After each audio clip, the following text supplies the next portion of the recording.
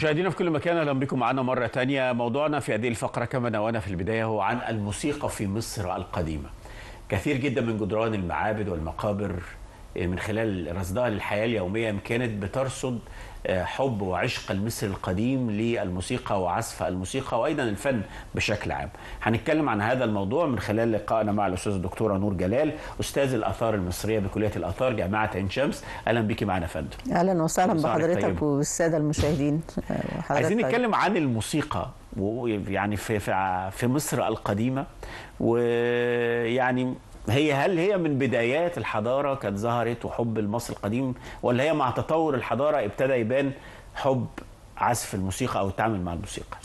هي بصراحة يعني حبه للأصوات عموما هو طبعا هو كان متلقي جيد جدا للطبيعة.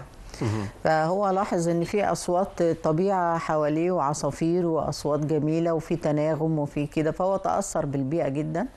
كان إنسان محب للحياة لأن إحنا زي ما إحنا هنشوف في بعض الصور اللي إحنا جايبينها أو هنعرضها إن هو إزاي إن هو كان بيستخدم الموسيقى دي سواء في الحياة الدنيا أو في في العالم الآخر. وليها دور إيجابي جدا في حياته. اولا طبعا الشق الدنيوي اللي هو الترفيه والشق اللي برضه العالم الآخر هو برضه الترفيه مع برضه بعض الحاجات الدينية زي مهمة مثلا تسريع انتقاله للعالم الآخر أو كده. وبرضه بتستخدم في التهدئة. يعني إحنا إلى الآن ما حد يكون مثلا متعصب أو حاجة نسمعه موسيقى هادية أو كده. فالموسيقى برضه كانت بتستخدم لتهدئة المزاج عند المصري القديم. ده إحنا كنا فاكرين إن دي أسلوب من أساليب الغرب يعني المستحدثة غربيا. لتهدئة الأعصاب. طلعت من عند الفراعنة يعني؟ آه وهو نظرا لتقديسه ليها كمان آه هتجد إن هو كرس لها مجموعة من الآلهة. يعني في مجموعة آه. من الآلهة اختصت باللي هي رعاية الموسيقى أو ابتكارها أو كده. زي إيه؟ ابتداء من الإله أوزير والإله تحوت اللي هو طبعا كان صاحب الكلمة والشعر والنغم والتوازن وحاجات زي كده. وفي عندنا آه إله اسمه الإله بس وعندنا الإله حتحور طبعا دي إلهة الموسيقى يعني أو سيدة الطرب يعني زي يعني ما كل الآلهة الرئيسية عند المصري القديم كانت لها علاقة لا مش كلها بس هو يعني عدد كبير كبيرة. مثلا ما آه. يقارب مثلا من سبعة أو حاجة آه. آه هم مختصين في إله اسمها الإله ميرت برضو دي مخصوص بر مخصوصة برضو لرعاية الموسيقى والموسيقيين في مصر م. القديم الآلات الموسيقية أنا متهيألي أشهرها الهارب باين هو الآلات الموسيقية إحنا لو قسمناها هنجد إن المصري القديم يعرف الثلاث أنواع الرئيسية منها اللي هي آلات النفخ اللي هي طبعا زي الناي والأرغول والحاجات دي وعرف كذا نوع من منهم يعني عارف الناي مثلا المفرد وفي مجوز وكده وفي اللي هي طبعا آلات وترية اللي هي بتاع زي شبيهة بالعود يعني حاليا زي الهرب والجنك والحاجات ديت كلها دي بتعتمد على أوتار. آه ليها برضو في حاجات شبيهة بأفكار موجودة ما زالت إلى الآن زي مثلا السمسميه آه اللي هي موجودة أو مشهورة في في, في مدن القناة هي م. أساسا مصرية قديمة. آه العود هو آلة مصرية قديمة آلة وترية. آه وفي عندنا الآلات اللي هي آه اللي هي بتعتمد على النقر كده اللي هي طبعا بتعمل إيقاع زي الطبلة آه وبرده عرف طبعا منها زي الطبلة والدف والرق وعنده الطبلة البرميلية اللي هي مزدوجة اللي هي ممكن إن هو يخبط عليها من ناحيتين. كانت مشهورة كمان في وإلى الآن طبعا في أفريقيا. دي, دي جاية يعني دي اشتهرت قوي جاية من أمريكا الجنوبية باين. لا هو كله من عندنا من عند المصري القديم. آه. هو بس يعني في طبعا الحاجات بقى اللي هي الحديثة دي طبعا ما كانش فيه بقى لا الأورج ولا الحاجات اللي لا لا أي حاجة. فيها زراير كده لا.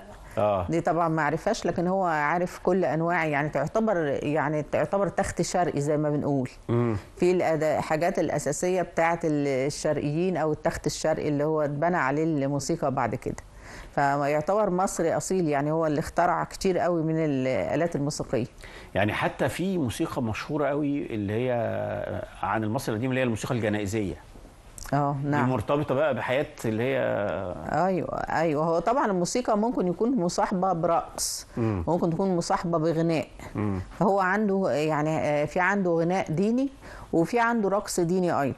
يعني في أثناء الجنازات ممكن إن هم يعملوا موسيقى ويعملوا آه، يعني مجموعة من الشباب بيعملوا حركات كده آه، معينة بطريقة منظمة وبيكون الغرض منها يعني مواكبة الجنازة في أثناء آه، الموكب كله وهم رايحين لعملية الدفن. فهو عنده يعني إيه متنوعة الاستخدام. وفي عنده موسيقى حماسية اللي هي زي اللي بيعتمدوا فيها على آلات النفخ زي البوق آه، وديت طبعا هنا بيبقى له يعني جزء في النهاية منتفخ كده أو يعني منفوخ بحيث إن هو يدي صوت تضخيم في الصوت. فدي طبعا كانت حماسية. إلى الآن إحنا عندنا الموسيقى العسكرية. فهو المصري القديم برضو كان عنده كده في أثناء برضو ما بيطلعوا للحروب أو حاجة فكان لازم يبقى في موسيقى عسكرية بتدي حماس للجنود وبت- وبتظبط إيقاع الخطوة وحاجات زي كده فدي برضو موجود. فاذا هو هنا آه، متعدد الاستخدامات فيه الموسيقى ارتبطت بالمصري ال- العادي يعني المصري القديم العادي في مصر القديمة ولا ارتبطت أكثر بالملوك وفي قصورهم يعني؟ هي طبعا هو المصري القديم طبعا هو كان كان يعني مجتمع طبقي. مم. يعني الفئة اللي هي السفلية خالص اللي هي الكتيرة الفلاحين والعمال وكده. لكن طبعا كل ما برتقي لأعلى في المجتمع الطبقي ده بجد إذا كان قلنا إحنا نوع من أنواع الرفاهية والفخامة. فطبعا بتكون مخصصة لكبار رجال الدولة أكتر طبعا بنلاقيها والملوك. الملوك في فرق موسيقية كانت عند في مصر القديمة يعني؟ إحنا الحقيقة لقينا لقينا فردي كله. في عزف منفرد آه. وفي فرق موسيقية بيعملوها في هيئة حلقة. آه. يعني بيبقى آه، حتى عندنا آه، يعني بعض النماذج اللي اسمها الماكيتات آه، وبتجد إن هم مرصوصين كده يعملوا نماذج صغيرة لشخصيات آه، ماسكة من ممكن تكون من الفخار أو الخشب وماسكين أدوات موسيقية. آه، زي ما نقول مثلا حلقة ذكر حلقة كذا فهم كانوا بيعملوها في هيئة حلقة برضو حلقة غنائية. وبيكون صاحب المقبرة أو كده وهو وزوجته قاعدين بقى على حاجة عالية شوية وهو الفرقة الموسيقية كلها قاعدة في هيئة حلقة على الأرض.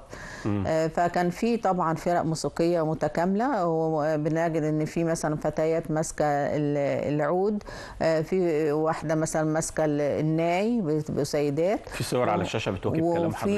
اتفضل يا آه، فندم. وفي برضو عندنا ال- المنشدين اللي هم هيغني أو كده وبنجد إن في طبقة كبيرة منهم ممكن يبقوا عميان يعني عشان ممكن يبقى عنده هو حساسية أكتر في تلقي الأصوات والتفاعل مع الموسيقى أو كده.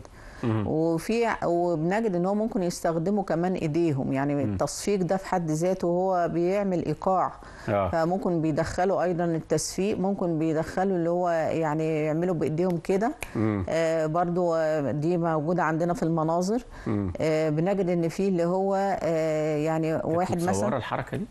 آه متصور متصوره يعني أيوه كده بقى أيوه لا هو كان حريص جدا لما يجي مثلا يعمل واحد حتى ماسك أداة آه. يعمل لك تفاصيل إيديه كلها يعني آه. يفرط الصابع كده عن بعضيها كده فيظهر لك الحركة يظهر. لك إن الحركة بالإيد والصوابع وكده لما بيجي يتعامل مع الأوتار فمصر القديم كان ذكي جدا وكان عنده كمان ممكن إن هو يجيب المغنيين اللي هو عارف لما يجي واحد يحط إيده كده على ودنه زي كده وهم مثلا بيجودوا القرآن كده. أيوة. آه. فهو برضو كان عندهم الحركة ديت موجودة. أو بيقولوا المواويل آه عشان. يركز وعشان يحس إن هو في صوت دلوقتي طالع. بيحطوا سماعات دلوقتي بدلها آه. لنفس الهدف على فكرة. آه. فكل ده موجود. مصر القديم ساب لنا تفاصيل كتيرة جدا من خلال المناصر.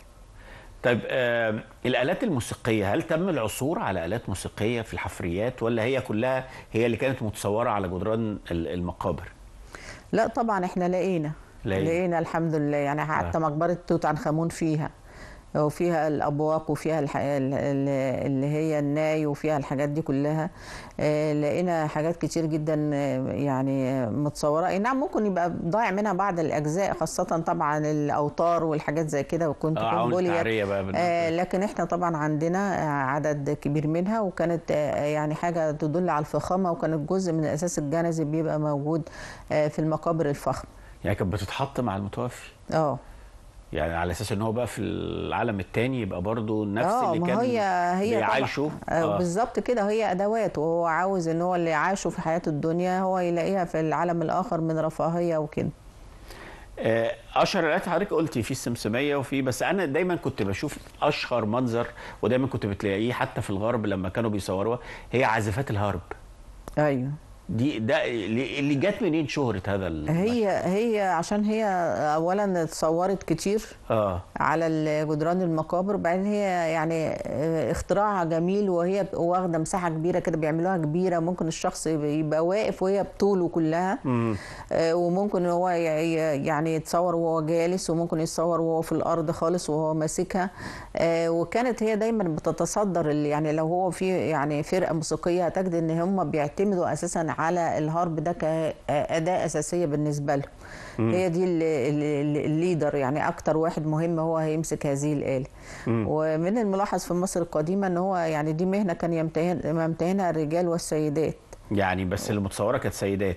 آه، لا ورجال. ورجال. آه. كانوا بيعزفوا على الهارب برضه. آه. آه. لكن إحنا في مصر القديمة يعني طبعا إحنا ما نعرفش بالظبط اللحن بتاعهم كان إيه.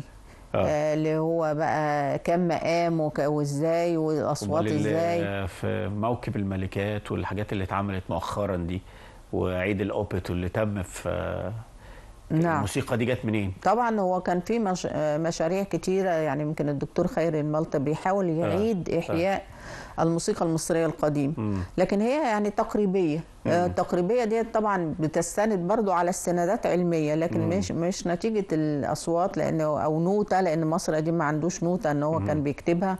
آه، لكن هو على الأوزان الشعرية اللي كانت موجودة آه، على شكل ال- الأداة نفسها. آه، يعني لما تكون حاجة مثلا فيها كم وتر بيدرسوا آه، أطوال هذه الأوتار يحاولوا يقلدوا الأداة ويحاولوا يخرجوا منها نفس الصوت.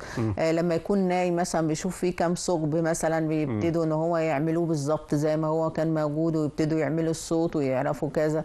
آه، لكن توزيع طبعا إذا كانت فرقة مثلا طريقة التوزيع دي مش. موجودة. آه، بس وممكن في حاجة مصدر مهم جدا يعني هو الحقيقة يعني كان مصدر ممكن يكون هم اعتمدوا عليه وهو الموسيقى الكنسية.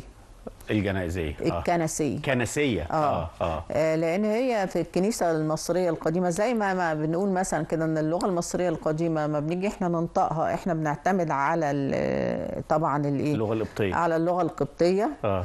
آه، الموجودة في الكنائس. آه، آه، فبرضه هنا الكنيسة كانت حافظة لجزء كبير من التراث. الموسيقى. آه يعني حتى في عندهم حاجة مثلا بيقولوا عليها اللحن السنجاري. آه. وفي حاجة اسمها اللحن الأتريبي. آه. دي آه، سنجار دي دي كانت مدينة يعني يقال إنها اندثرت في الدلتا وكده وده كان مثلا آه، يعني لحن اللحن اللي هو الفرايحي. بشكرك جدا على هذا يمكن هذه المقابلة السريعة. يمكن الموضوع كان عايز مزيد من الشرح ولكن إن شاء الله يكون لنا لقاءات أخرى قادمة. بشكرك جدا أستاذ الدكتورة نور جلال أستاذ الآثار المصرية بكلية الآثار جامعة عين شمس نورتينا النهارده دكتور. آه، شكرا لحضرتك وشكرا. للسادة المشاهدين. شكرا. مشاهدينا في كل مكان سعدنا بوجودنا معكم النهارده في على وعد دائم بلقاءات أخرى قادمة. انتظرونا غدا وفريق عمل جديد. بنصب عليكم.